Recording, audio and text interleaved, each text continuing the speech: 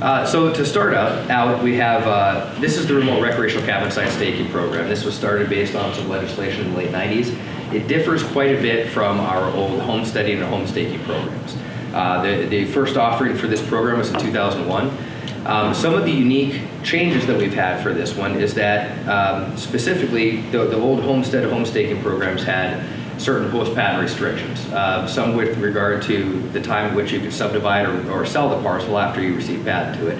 Um, and more specifically, a lot of those had prove-up requirements. So you had to occupy, you had to uh, construct a dwelling within a certain period of time and occupy it within a certain period of time in order to receive title to it. This program does not have those, those requirements.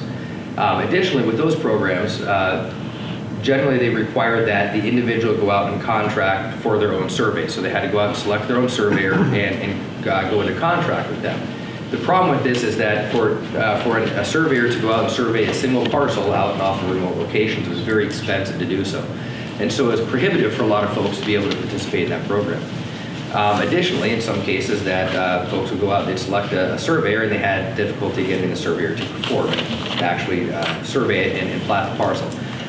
So in this program, the, uh, the Department of Natural Resources contracts for the survey of those parcels. And so we, uh, we roll all the parcels from each staking area together. We go to contract on all those parcels all at once, and with the, the increased number of parcels, it significantly decreases the survey cost. Additionally, since the Department of Natural Resources is administering the contract, uh, that makes it to where we can ensure that the contract actually does get completed in a timely manner. Um, so the, once everything is surveyed and appraised, uh, they are, the parcels are sold at fair market value for the, the surface estate um, of the parcel. Um, so as you're all aware, uh, having already gone through the lottery process, uh, authorizations to stake a parcel are awarded to, um, to winners based on uh, a lottery. Uh, so if we have more applicants for an area, than we have authorization to go to a lottery to determine who gets the stake. So um, a little bit about the process, which we'll cover a little bit more in, de in, detail. Once you stake your parcel, you'll lease the parcel for three years while DNR contracts out for the, the survey of that parcel. Once the survey is completed, we're going to appraise it. You have the opportunity to purchase it at the fair market value minus what you've already put in towards the survey deposit at that time. For other information, the Public Information Center, uh, located up here on the 12th floor uh, of the Atwood building, is, uh, is a great source of information. Uh, they can help you out with uh, land status information. Uh, they can help you look at aerial imagery, print out maps, that sort of thing. So I highly encourage you, if you haven't done so, you can head up there and, and get access to those resources. they also have public computers up there that you can do, use for doing land research and such.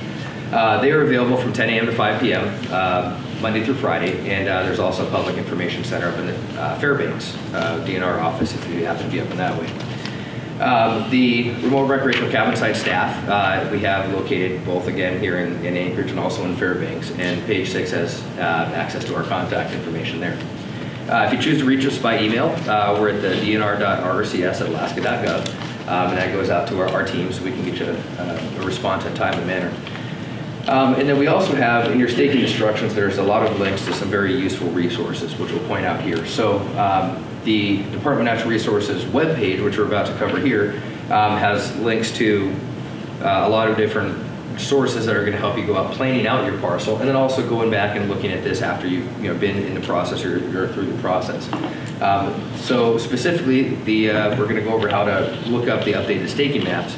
Uh, additionally, before you go out the field, I'd highly encourage you to look at that and also do some land status research as well. Uh, we also have the ability to receive online payments via our website. Um, so I would assume that most folks have probably been through our uh, to our land sales webpage already uh, through the, the lottery process here, but the, the situation has changed a little bit since you started here. So since this is a 2014 offering, the offering itself has already been completed. We're now in the staking process. Uh, the location of it's changed just a little bit.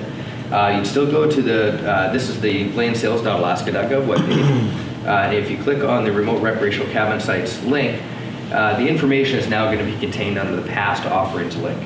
So if you click on the past offerings link, there's going to be a lot of information that's going to be helpful to you here right now when you're going out planning to stake a parcel and then also uh, in the future afterwards. Uh, to begin with, there's a link uh, under, under, past offerings. There's several different links there. There's a link to the brochure, which has uh, the, the original offering brochure along with uh, any errata or updated information. Uh, we also have uh, linked to the, uh, the base appraisal reports. And of the most important bit is these staking areas that are uh, the links to the individual staking areas.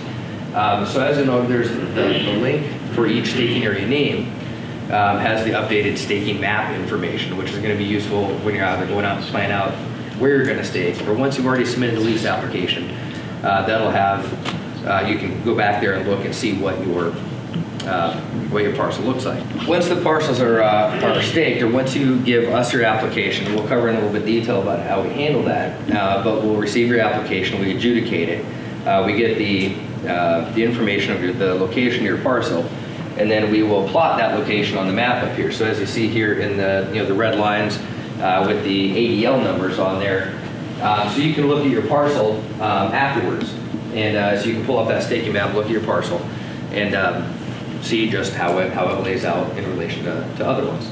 Um, in addition to that, uh, if you're planning on going out in the field later in the staking area, you can look and see what's already out there. So that'll kind of help you do a little bit of planning. Um, of note, the ADL number that you see uh, associated with those individual parcels is an Alaska Division of Lands number. It's just it's a serial number uh, that we assign to uh, any case files for the Department of Natural Resources. So, uh, thank you.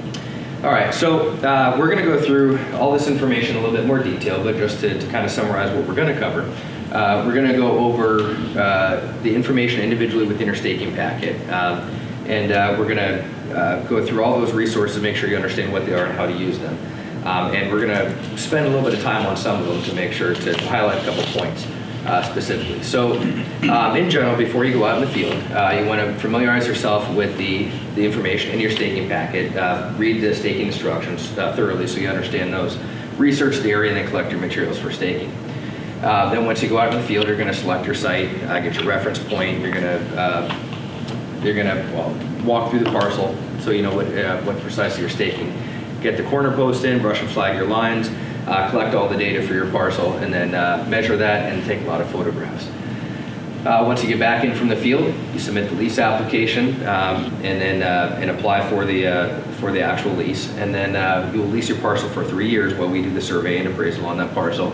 Um, and at the end of the appraisal process, you have the opportunity to purchase that parcel. And so we're going to cover that in detail. So to begin with, before you go out in the field, um, everybody should have a, a staking packet in front of them. Um, and so if you'd like to, um, I highly encourage you to go along through your staking packet and uh, go through these as, we, as we're discussing So uh, this lists all the contents of your staking packet, and we're going to go through this in, in, a bit of detail right here. Um, so if there's something that we're discussing here that you don't have in your staking packet, let us know. Uh, we'll make sure that you get a copy of that so you have to complete the staking packet. Uh, so to begin with, we're going to start with the authorization letter, the award letter. Um, so uh, this letter is what gives you the authorization to go out and stake a parcel in the field. Um, so uh, I would highly recommend that you take a copy uh, or make a copy of this and bring a copy of this uh, authorization letter with you out in the field. Likewise, if you're going to be having an authorized agent stake for you, I would recommend that you give a copy of this to your authorized agent um, such that if we're out in the field and we, you know, we're contacting folks as they're in the process of staking, we, you know, we may ask for your authorization letter, and then you can say, yep, I, uh, this is who I am, and I've got your authorization here, or I'm staking for this person. Uh, so please make a copy of that and bring it with you. The, uh, the staking instructions is probably one of the most important portions of your staking packet. Um, again, I highly recommend that you make a copy or two of these. Uh, specifically, you're going to want to make sure to bring a copy of this with you into the field. This is very important. Uh, there's a lot of conditions on staking a parcel, and to make sure that you're fulfilling those conditions, uh, you need to have the reference available to you. Uh, so again, page six has contact information about how to get a hold of us. Um, this also has a link to a lot of additional resources for doing the research before you go out into the field. But we have all the requirements of how to stake a parcel, all the rules and restrictions that are associated with that. Uh, we have examples. We have uh, examples of sketch plats and how to information directions on how to fill out your sketch plat. We have a lot of neat tools for, uh, uh, for calculations and such. And this outlines the, uh, the process about both filling in the lease application and what you have to do during the lease period. Uh, so the supplemental staking instructions are going to be area specific. Um, so this has all of the specific uh, restrictions that are associated with that specific area for, in which you're staking. So this has the uh, reserved areas, setbacks from either anadromous streams or water bodies, Um, So it has the, has any specific restrictions to that area. Um, Additionally, this will list any public water bodies that we've already identified in the field right now. There may be some out there that we've not identified, but we'll, we'll cover those in a little bit more detail later. Um, This has any updated information. This also has base appraisal information, which um, is carried over from the, uh, from the offering brochure, which will help you identify how much parcel in that area is likely to cost you. And it also has uh, information about the survey deposits and how much that, uh, how much you will be paying for a survey deposit during the lease period. That's specific to each area as well. Uh, The checklist.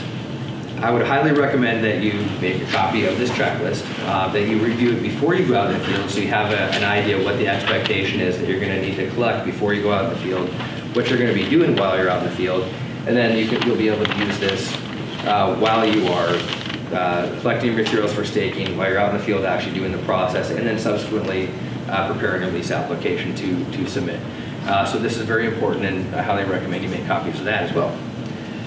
Uh, The, the staking map, yeah, everybody should have in your staking packet, large format staking map. Um, This had, this is the, the the map for the staking area. It's based uh, with the USGS topographical map um, as the, uh, the base layer for that. It has uh, private property on there, it shows public water bodies on there, access. It has all of the very generalized uh, information for the staking area. Uh, Of specific uh, note, there is a, uh, a note section down in the lower left-hand uh, corner of, of this that gives some of the general information about the staking area as well, with regard to some of those restrictions.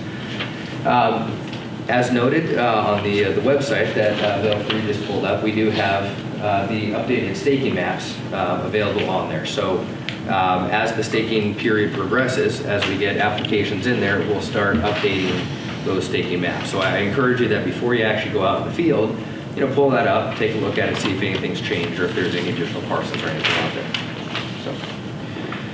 Uh, The boundary coordinate diagram, uh, this will be a little smaller format map. This has uh, coordinates for the the boundary of the staking area as uh, one of the requirements of the, uh, of the programs that you stake within the boundary. This will give you coordinates so you can locate within, where that boundary is.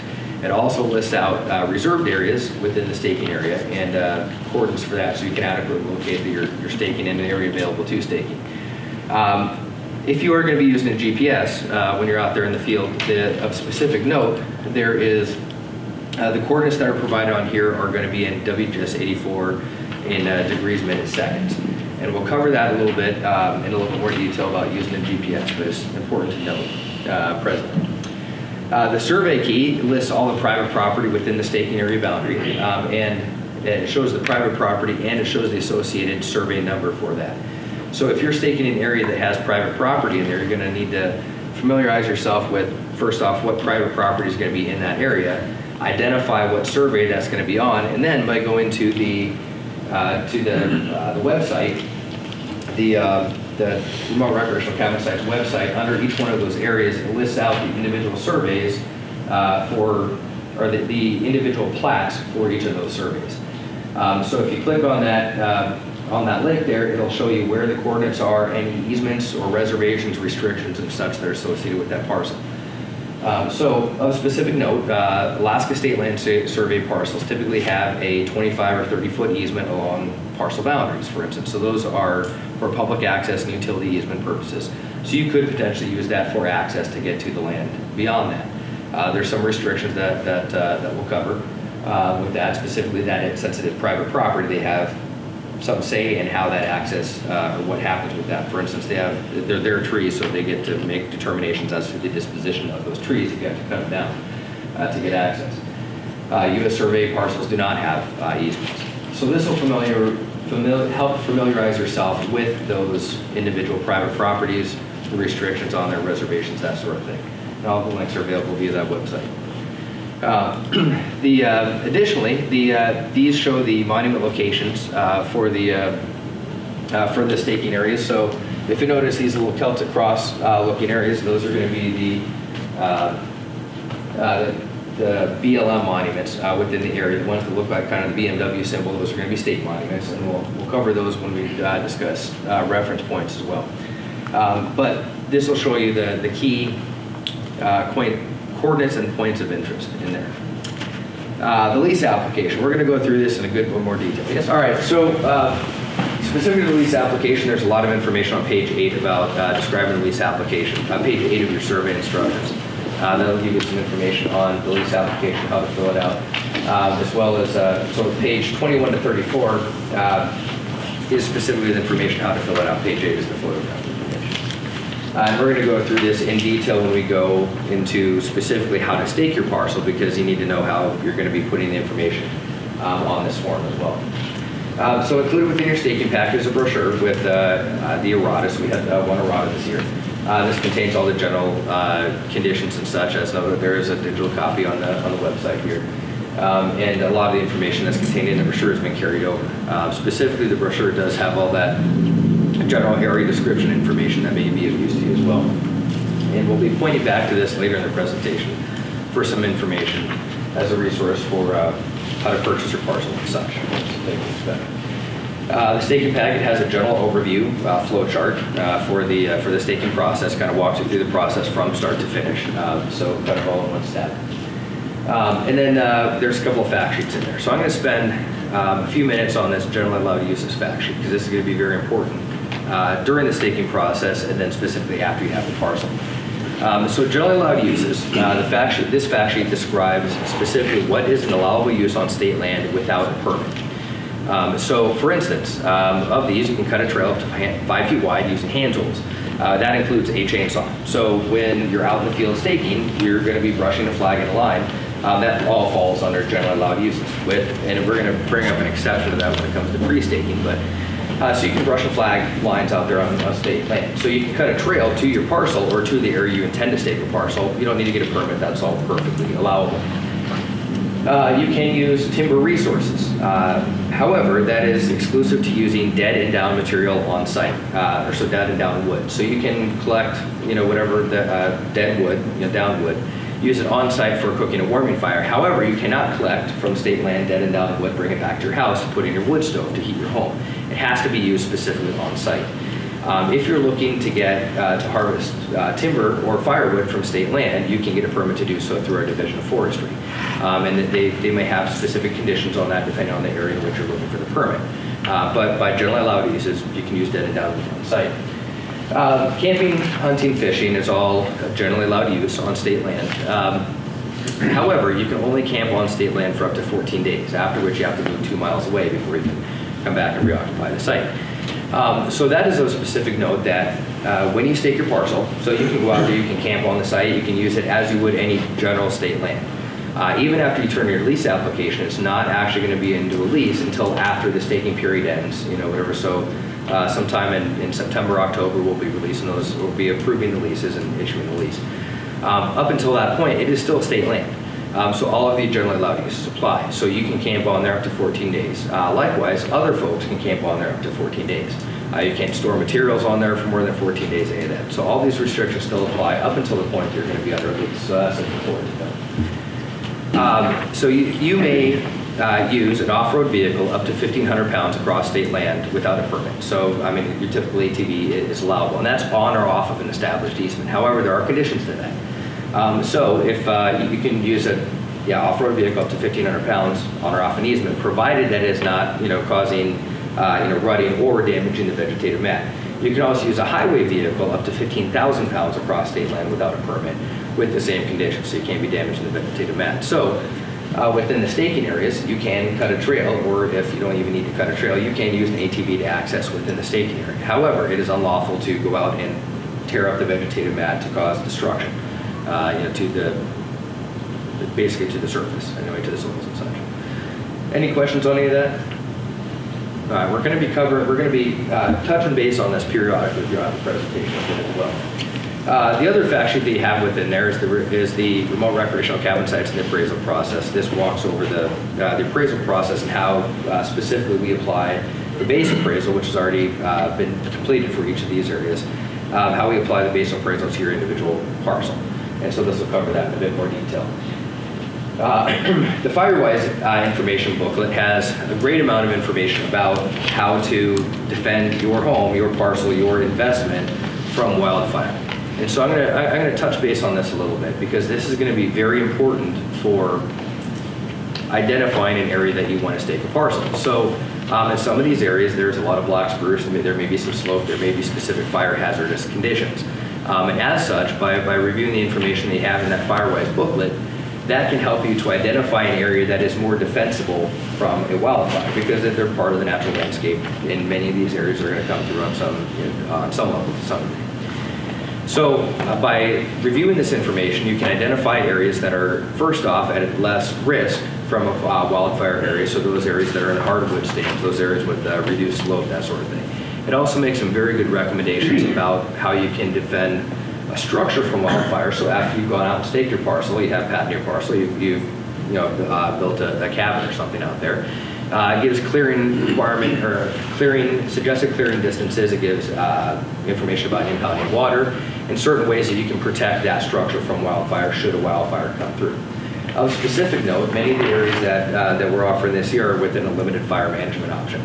What that means is that that area has a very limited priority for initial attack. So if a fire comes through the area, the Department of Forestry or the Alaska Forest or Fire Service, the BLM, is likely not going to prioritize that, especially if there's other fires in higher levels or higher management options uh, that are going on. So they may not be able to go get right out there to protect it. So the more work that you can do may, may protect your investment a bit more. Additionally, even if fire crews are out there and you have an area that is not defensible, so I mean if there's black spruce going right up to your cabin, it can be very hazardous for them to even go in there and try to defend that structure.